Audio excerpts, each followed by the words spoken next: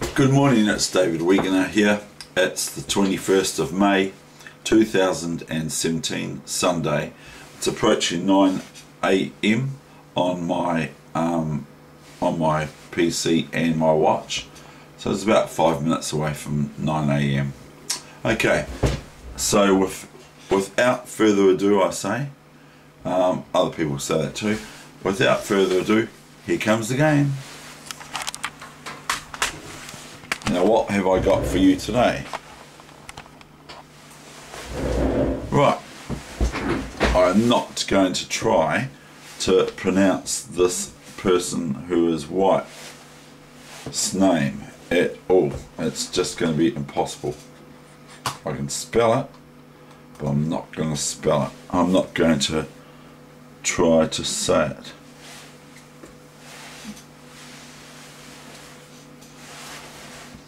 It's A W, and then the name is. It's like my name, but some people will say my name's really easy. And uh, a friend of mine, he's he did it really easily without any issue. He just said my whole name, blah blah blah. And he hasn't seen my name written for a long, long time. So anyway, it's W J A K H I R E F F. So I don't know how to say that. That's W J A K H I R E F F. And this is a correspondence game that happened that happened uh hundred a hundred and eleven uh nine years ago, 109 years ago, 1908 in Russia this was a correspondence game between White and um, Alexander Alekhine at the age of 16. Alekhine was um, 16 when he played this game. Now I looked at this game on the 18th of December, one week before Christmas of course, in 1980. A long time ago.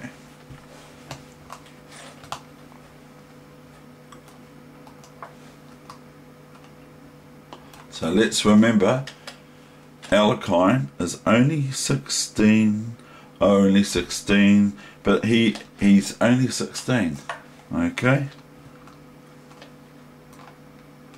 So it's probably going to be quite easy, eh? Bishop c4, Knight c6, d3. bishop b4 knight e2 not knight ce2 because it's impossible because of the pin on the, the knight. But anyway so they go knight ticking 2 in the book. D5 a typical move for Alekhine to play and remember this is correspondence chess now a correspondence game I'm not exactly sure how that came about. Whether they had some horses running backwards and forwards, whether they had some horses going trunging, trundling across the, the meadows to the next um, town or wherever, because I'm not actually sure how they, um, whether, or, whether or not they were in the same city or whatever. They might just have had a, a courier like um, Forrest Gump or something like that. Forrest Gump might have been running around and um, delivering delivering the correspondence games. Now he would make, come to think of it, he would make quite a good Garry Kasparov. If anyone was to do Garry Kasparov, he would be quite good as an actor for Garry Kasparov because he's he's got he's got sort of like um, the features that I would. Anyway, I'm not going to talk about um, movies and all that sort of thing, but I did see. I've now watched Hidden Figures now three times, and I think it's an awesome movie. But I'm not doing that. I'm going to continue with this game. D5, E5, Knight D5, Bishop takes d5 and then we've got queen takes you see because this is not possible. It looks like it is but it isn't because it's check okay so then white castles away. Very well done. They're developing.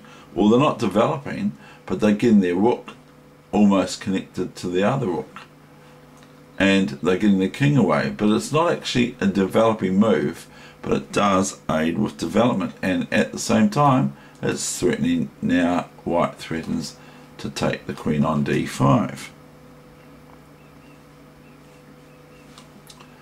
back goes Alekhine to d8 but surprising. But there are other moves but um but this is what the great Alekhine plays. Knight g3 now, Alekhine castles.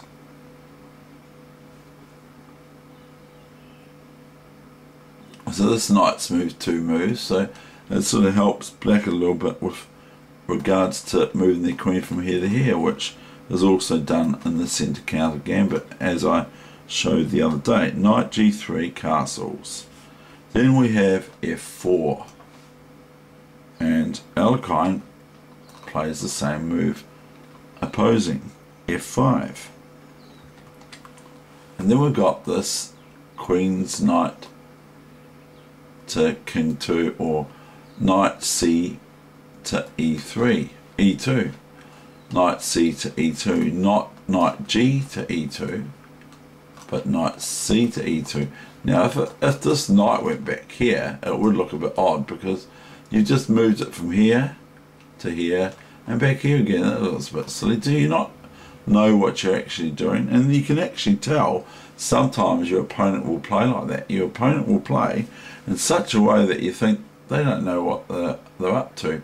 They're playing this and then they're going back there again and then they're going there again and then they're going back to where they were before, blah, blah, blah. And you sit there and go, well, they don't actually have a plan and it's no good in chess not to have a plan. It doesn't matter if your plans are, are, are bad plans better than no plan at all. It's sort of like a, a bit of a cliche or a little bit of a sort of um, statement to make. Um, maybe in practice it's not completely true, but a, a bad plan is better than no plan at all. Now that's not to say that the plans that's bad is going to work, but it's important to have a plan um, in chess.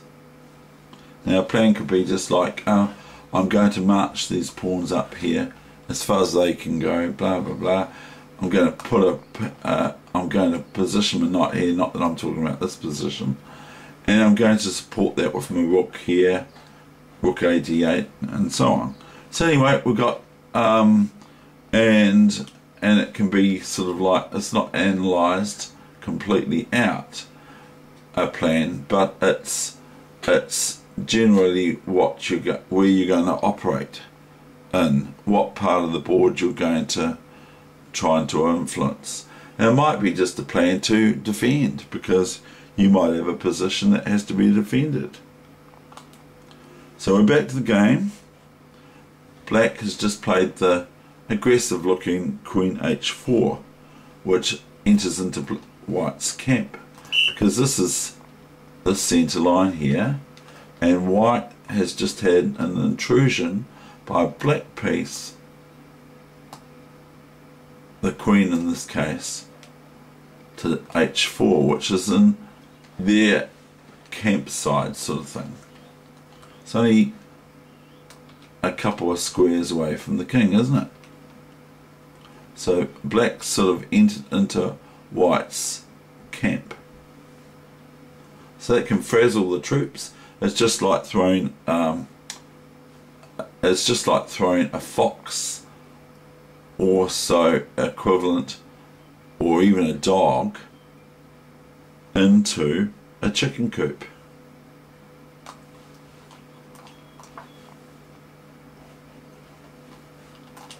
Now here we got bishop d6. and here yay what's white done? They've put this pawn on the black square black square. So here comes Alekhine he goes e4 e4 thereby this is still able to be activated as the bishop can come here here and here and that's the thing now that's a small sort of a plan. It's not a plan. Uh, but this black square bishop can go on this diagonal if this pawn pushes. C4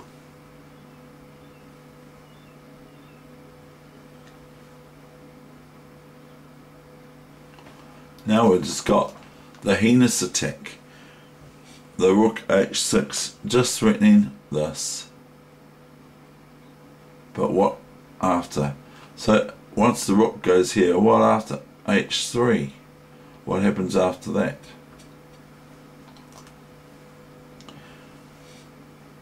Because h3 will um, save. Save white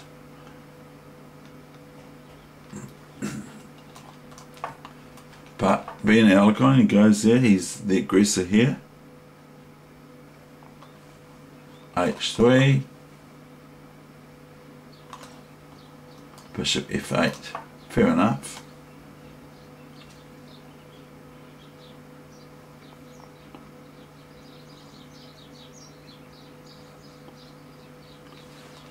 Queen b3 check. Here comes white.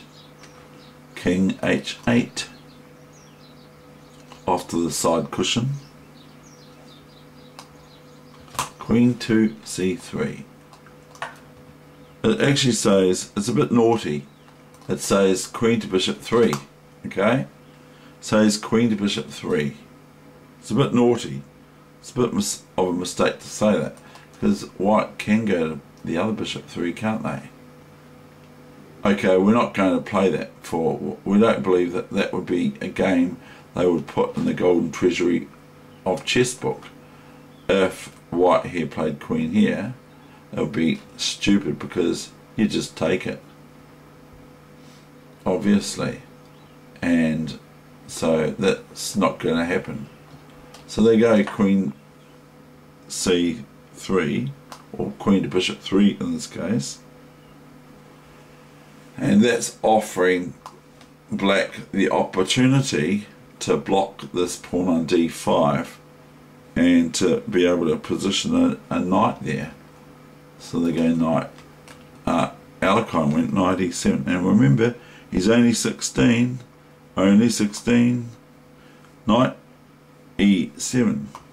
Bishop to king 3. Now remember what I said about the, the black squared bishop here for white. It's not very good because of moving this pawn to d4. And I said, hey, look at what's happening here, punters. Now, white's actually being met by black um, administering attack on this square here, d5.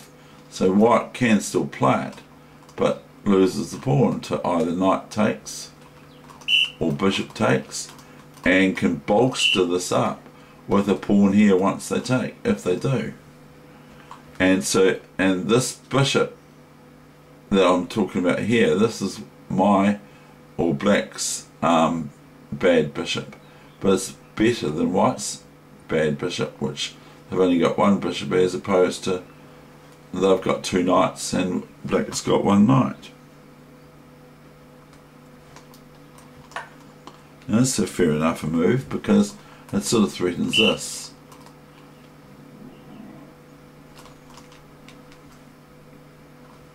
So black takes off. There's no there's no rush, you know. If he if black's stubborn enough, then they and keep their queen there, they offer white the opportunity to take this or to take this, which wins this rook on h6 once the queen moves. Because the queen's not going to want to hang around there because it's um, got lots and lots of fire hitting it.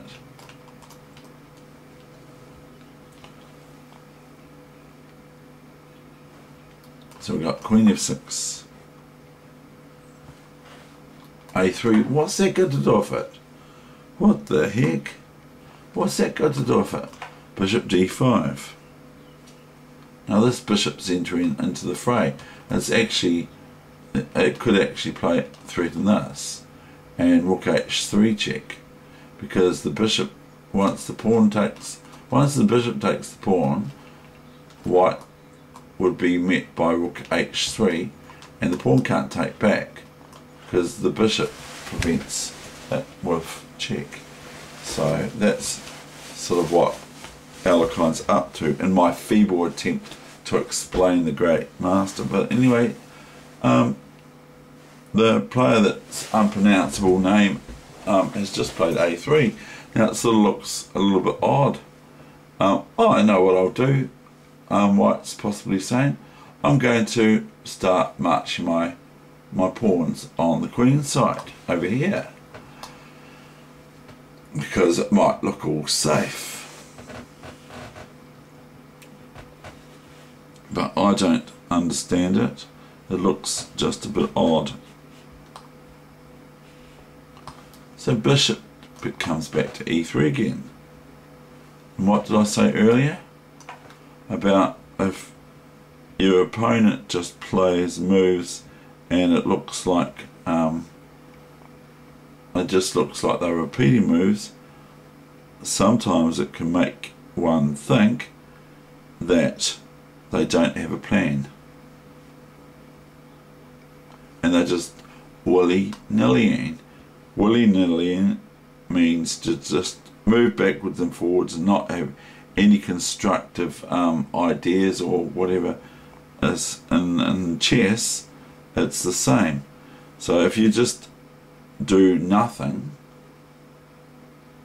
you get yourself in some bother. Knight g6 b4 so he's decided white's decided in his infinite wisdom to launch a queenside massacre. And um, true to Alekhine's word he continues on as well he doesn't sort of pull back here other than moving this bishop back here and that sort of thing king g1. Now it's gone, wasted a bit of time here, eh? Knight f3 comes. Now, if here, then this is going to be a very, very strong attack for black because one, the knight is attacked. Rook doesn't want to take this because it's just bishop takes and bishop takes f3 rook.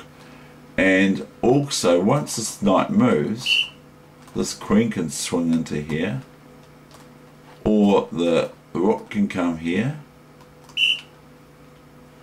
But this one looks very strong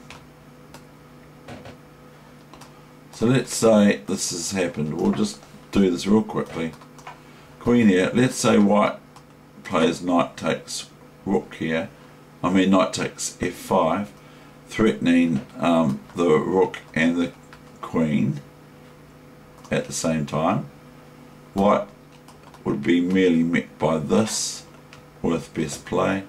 And if now knight h6, everyone can see that this is queen g2 checkmate. Now even this is just about good but it fails. Now if there was a pawn here, if there were a black pawn was here, that's checkmate, see? So that'd be quite cute. But anyway, it's not the position.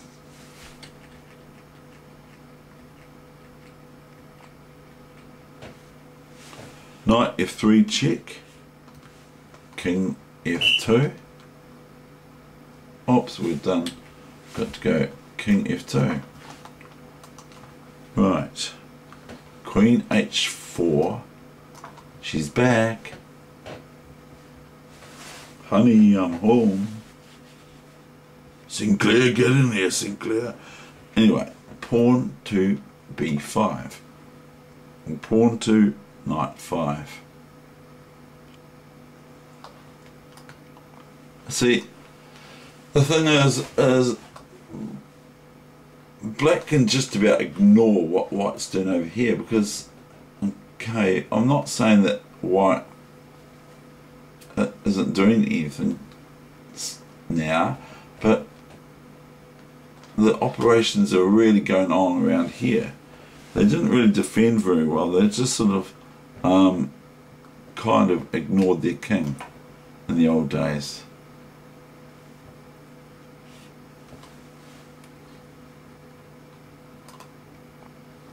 It says king's rook, king's rook to bishop 1, or could say king's rook to king 1, or king's rook to queen 1, or king's rook to knight 1. But in this place, it would have to say king's rook to knight, queen's knight 1, okay? If it was going there. If it goes here, it just goes rook to knight 1 in the old notation or rook to rook one because there's only one rook that can go to um oh hold on yeah no then you have to say um, if it's rook to knight one you have to decide whether or not you're moving to here or not or there or whether that's moving there or not. So you would say king's rook to king's knight one or king's rook to queen knight one and so forth. So anyway they go king's rook to bishop one you see that's why I'm telling you all that sort of stuff. Now comes the bishop. Now the bishop's been um, sleeping a little bit so out comes the bishop. So it's coming into activity again okay the status quo is um, wanting to look after defend your position your own king and that sort of thing and then as well as that have some influence in attack as well. Bishop e7. Very, very aggressive is our um, Alekhine.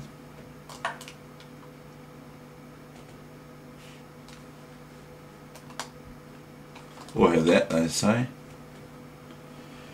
Because the resulting position is going to be um, quite cool. Knight g3, Oops, so we're not doing that computer. Doing knight g3. Queen takes knight. Queen g3. Now we've got bishop f2. Now the thing is, is that we could look at this for everyone.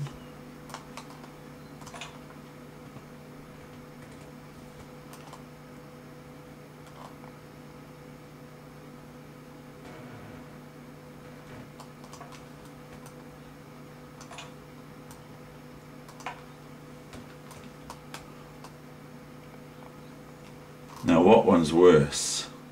Dave? Is that better?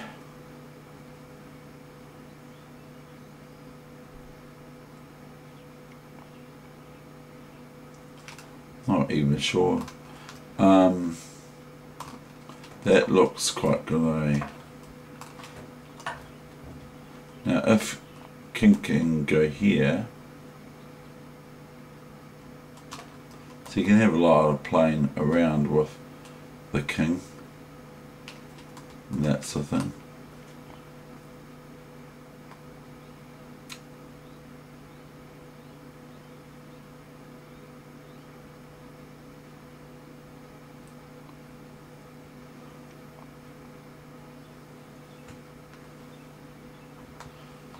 See, black can just about play that, I think and just play that if they wanted to.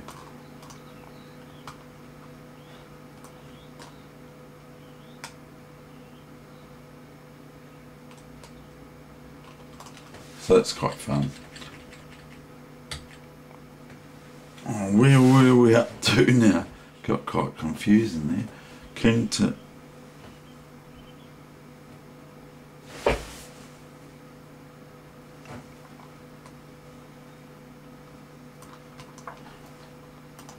bishop f2 queen h2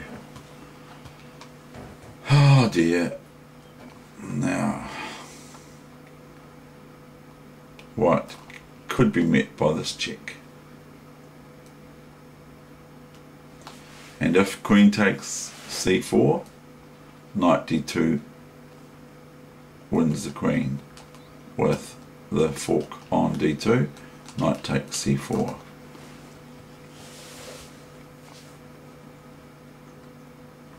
So white relinquishes black's knight on f3 because it's too nasty there.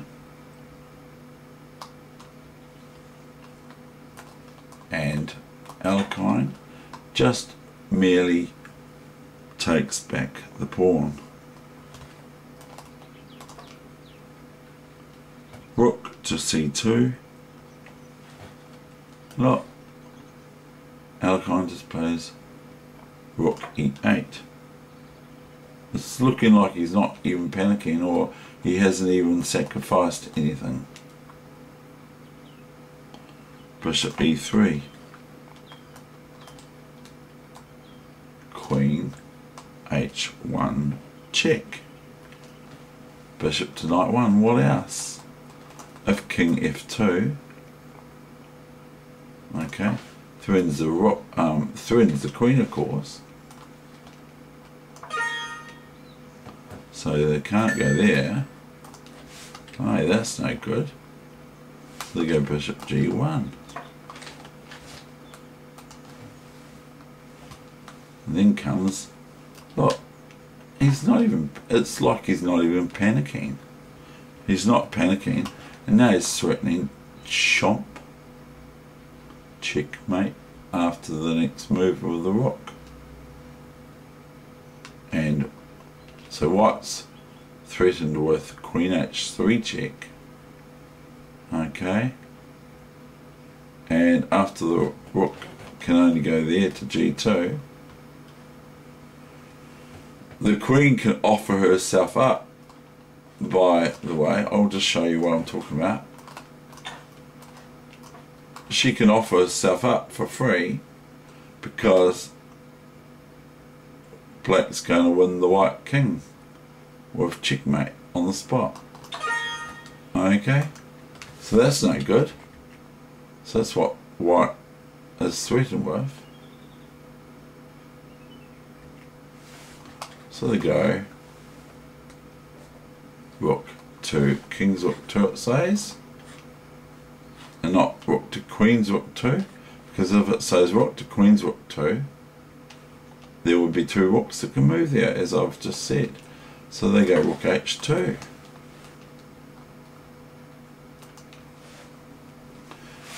now I'm just going to leave it for I don't know quarter of a minute. Can you find Checkmate and two moves for black forced.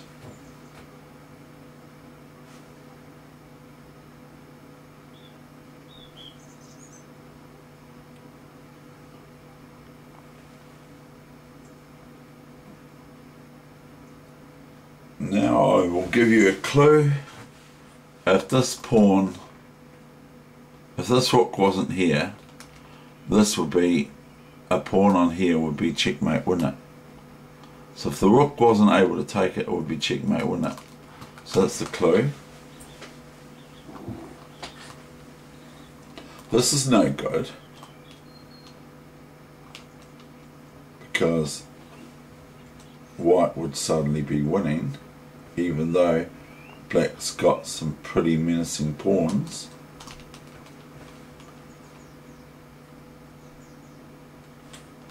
Black played queen g2. Check.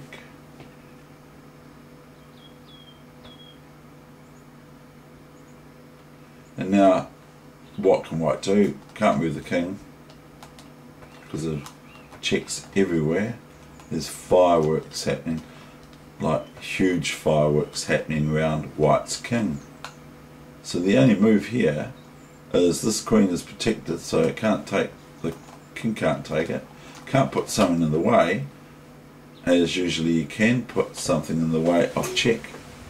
But when it's abreast to the king, the opposing piece, you can't put someone in the way.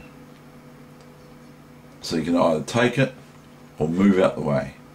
And in this case, white can't move out the way, so they take the queen, and then it's and that's the end of the session. Thank you very much. I hope you have a pleasant day wherever you're looking at me from. And thank you very much for um, having a look at this great master game, this world champion of the future when he's 16 years old.